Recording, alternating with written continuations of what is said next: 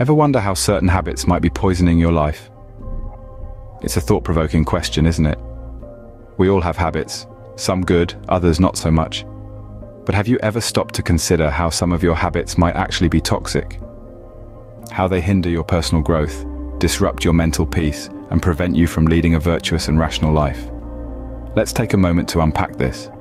What do we mean by toxic habits? Essentially, these are behaviors or patterns of thinking that are detrimental to our well-being. They're the habits that over time erode our happiness, our relationships and our overall quality of life. Now, you might be wondering, how do I identify these toxic habits? Well, that's where the ancient philosophy of Stoicism comes in. Stoicism provides a unique lens through which we can examine our habits. It teaches us to focus on virtue, rationality and self-control, and in doing so, it shines a light on those habits that conflict with these principles. Stoicism, a philosophical system born in the bustling markets of ancient Greece and honed in the halls of Roman power, offers a powerful antidote to the poison of toxic habits. It teaches us to respond to events with reason rather than emotion, to focus on what is within our control and accept what is not, and to engage in regular self-examination. It emphasizes the importance of appreciating what we have, of being honest and authentic, and of not neglecting our community and relationships. And it warns us against excessive indulgence in physical pleasures, material possessions, or emotional responses. So, why is it important to recognize and understand these toxic habits? Because once we acknowledge them, we can start to address them. We can replace them with healthier, more positive habits that align with Stoic principles. And in doing so, we can start to live a more virtuous, rational and fulfilling life. Now let's delve into these toxic habits from a Stoic perspective. Our first toxic habit is reacting emotionally rather than responding rationally. In the realm of Stoic philosophy, this is a key principle that can drastically alter the way we navigate through life's challenges. Stoicism teaches us to lean on reason as our guiding compass, rather than being driven by the unpredictable waves of emotion. Imagine you're in a boat, out in the vast ocean, Emotional reactions are like the turbulent waves that toss your boat around, making the journey chaotic and exhausting. Rational responses, on the other hand, are like the calm waters that allow you to steer your boat with purpose and direction. Let's delve deeper into this. When we react emotionally, we're often driven by the heat of the moment, anger, frustration, fear, or sadness. These emotions, while valid and human, can cloud our judgment, leading to actions that we might later regret they can make us say hurtful words, engage in harmful behavior, or make decisions that are not in our best interest. In contrast, responding rationally involves taking a moment to step back, to breathe, to assess the situation from a detached perspective. It's about asking ourselves, what is the most constructive course of action here? What aligns with my values and long-term goals?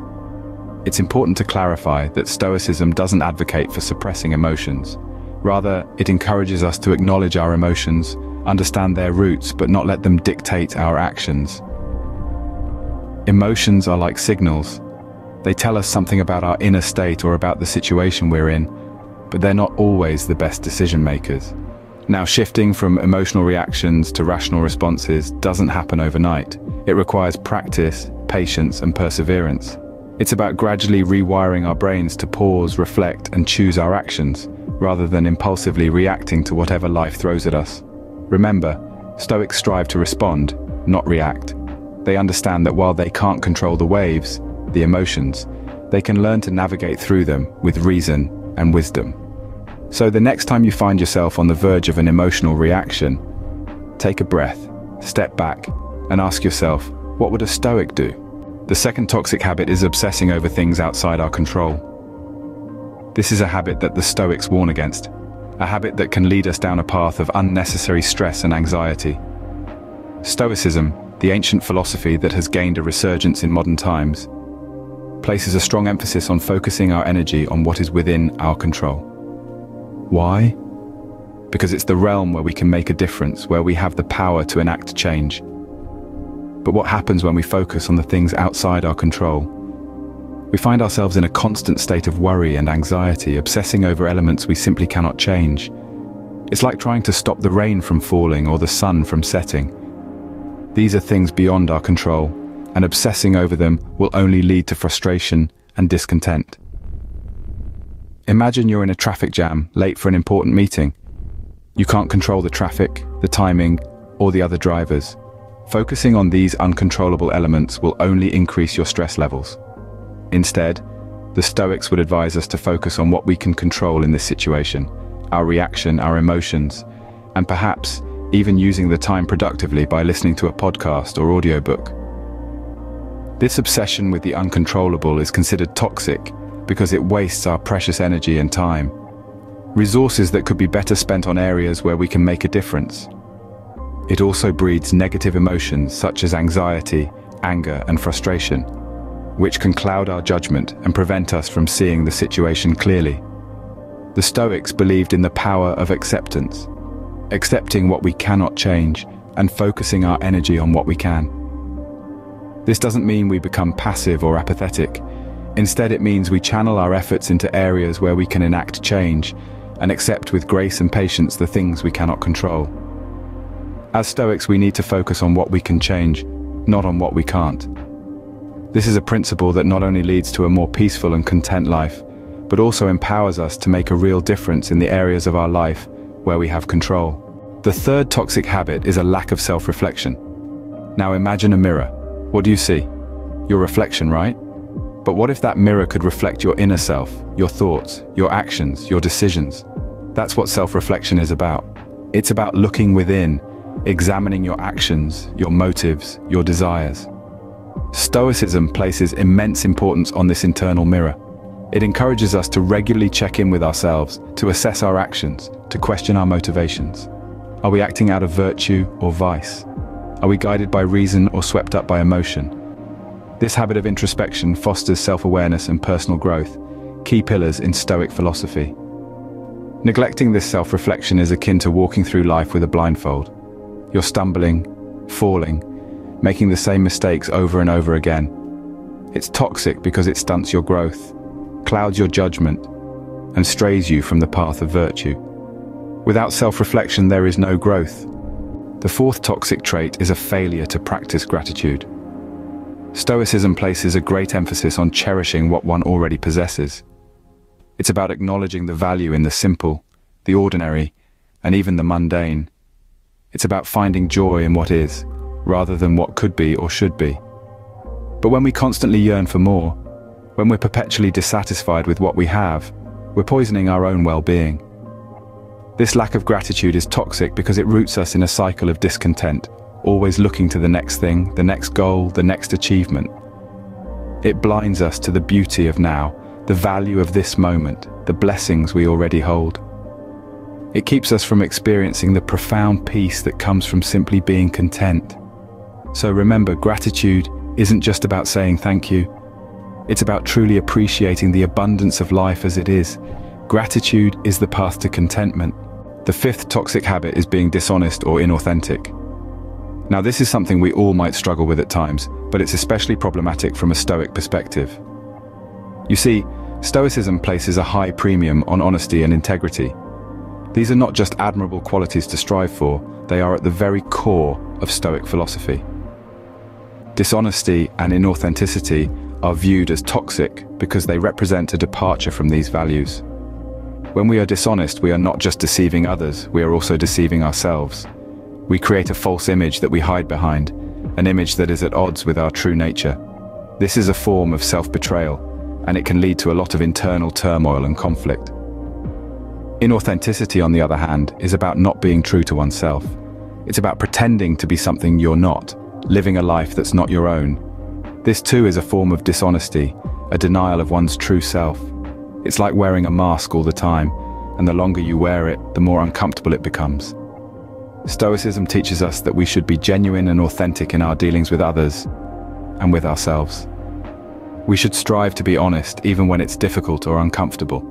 This is not to say that we should be brutally honest at all times, but rather that we should be tactful and considerate in our honesty. We should be true to ourselves and not try to be something we're not. In the end, being dishonest or inauthentic not only harms our relationships with others, but it also harms our relationship with ourselves. It creates a divide between who we are and who we pretend to be, and this divide can only lead to unhappiness and discontent. So, make the conscious effort to be honest and authentic in all that you do. Embrace the Stoic values of honesty and integrity, and strive to live a life that is true to who you are. Remember, integrity is not just about being honest with others, it's also about being honest with yourself. Integrity is the cornerstone of a virtuous life. The sixth toxic habit is neglecting community and relationships. Stoicism, despite its emphasis on self-sufficiency, holds a deep respect for the importance of community and relationships. Stoics understand that we're social creatures by nature.